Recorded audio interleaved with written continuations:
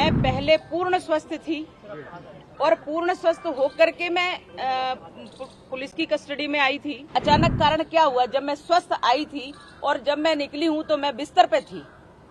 Cancer मुझे हुआ, रीढ़ की हड्डी की प्रॉब्लम मुझे हुई, हमारी न्यूरो की प्रॉब्लम मुझे हुई, सिर में आँख से लेके ब्रेन तक बस मुझे पड़ा। जितना बॉडी हमारी डैमेज हुई है, उसका पूरा कारण कांग्रेस के सरकार की प्रताड़नाएँ हैं एटीएस की प्रताड़नाएँ हैं। कंप्लीट एक नकली केस बनाया गया है, जिसके बारे में मैं स्वयं साक्षी हूँ, क्योंकि जो व्यक्ति अपराध करता है, वो खुद जानता है या ईश्वर जानता है तो जो अपराध नहीं करता है, वह भी स्वयं जानता है। ऐसा है कि कांग्रेस की प्रताड़नाएँ जो हुई, वो तो निश्चित है।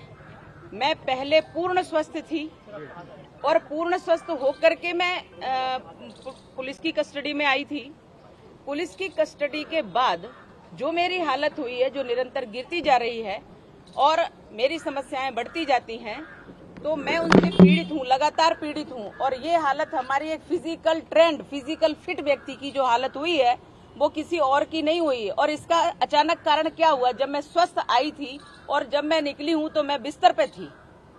कैंसर मुझे हुआ, रीढ़ की हड्डी की प्रॉब्लम मुझे हुई, हमारी न्यूरो की प्रॉब्लम मुझे हुई, सिर में आँख से लेके ब्रेन तक बस मुझे पड़ा और जिसके डैमेज जितना बॉडी हमारी डैमेज हुई है उसका पूरा कारण कांग्रेस के सरकार की प्रताड़नाएँ हैं एटीएस की प्रताड़नाएँ हैं। आप ये मानते हैं कि जाँच अधिकारी जो शुरुआत में थे उन्होंने आपको प्रताड़ित किया था? मानती नहीं हूँ किया ही है और मैंने कोर्ट से कोर्ट में भी जब थी तब भी कहा और कोर्ट से निकलने के बाद जब मेरी जमानत हो गई उस समय भी मैंने मीडिया को कहा है। और मीडिया ने भी देखा है आप लोगों ने भी देखी कितना भी नकारेंगे प्रत्यक्षम की प्रमाणम।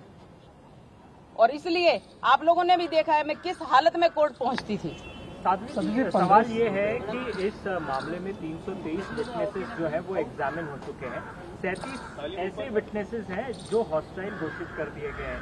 तो कारण क्या रहा? आप क्या समझते हैं इसको? मुझे ऐसा लगता है कि ये कोर्ट की प्रक्रिया है।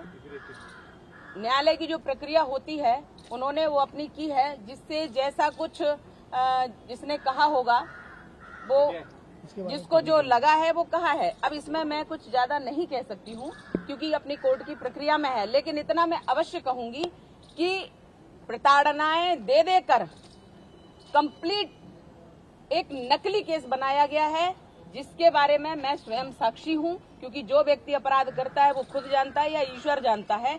तो जो अपराध नहीं करता है, वह भी स्वयं जानता है और ईश्वर जानता है। इसलिए मैं कह रही हूँ कि मेरा केस एकदम क्लीन है। साथी भी पंद्रह साल हो गए मुकदमा चल रहा है अभी तक मुकाम पे नहीं पहुँचा है। आज बहुत अहम दिन था तीन सौ तेरह के तहत आप लोगों का बयान होना था लेकिन आपने में से एक आरोपी नहीं पहुँचा। तो हर बार आरोप लगता है कि जो थोड़े वीआईपी बड़े आरोपी हैं वो आते नहीं है मुकदमा चल जाता है। नहीं आप किसको वी वीआईपी कह रहे हैं? आप किसको वीआईपी कह रहे हैं? कई है इसमें। जानबूझ के लंबित किया जा रहा है मुकदमे को लंबित किया जा रहा है। मैं कोर्ट के बारे में सुनिए। ये प्रक्रिया कोर्ट की है। कौन आता कौन नहीं आता ये उन्होंने क्या करना है ये मैं नहीं कह सकती। लेकिन मुझे पता है कि मुझे आदेश मिलता है मैं तब भी आती हूँ और कभी कभी ऐसा होता है कि मैं चेकअप के लिए या ट्रीटमेंट के लिए आती हूँ तो भी मैं बीच में से समय निकाल करके बिना बुलाए कोर्ट में मैं स्वयं उपस्थित हुई हूँ। इसलिए मैं अपने बारे में कह सकती हूँ कि मैं कर्तव्य पूर्ण निर्वहन करती हूँ। चाहे वो कहीं का भी हो, सांसद हूँ तो वहाँ का भी, और मैं यहाँ एक प्रकरण में आरोपी हूँ, यहाँ भी मैं अपने कर्तव्य का पूर्ण निर्वाह करती हूँ, इससे ज़्यादा मैं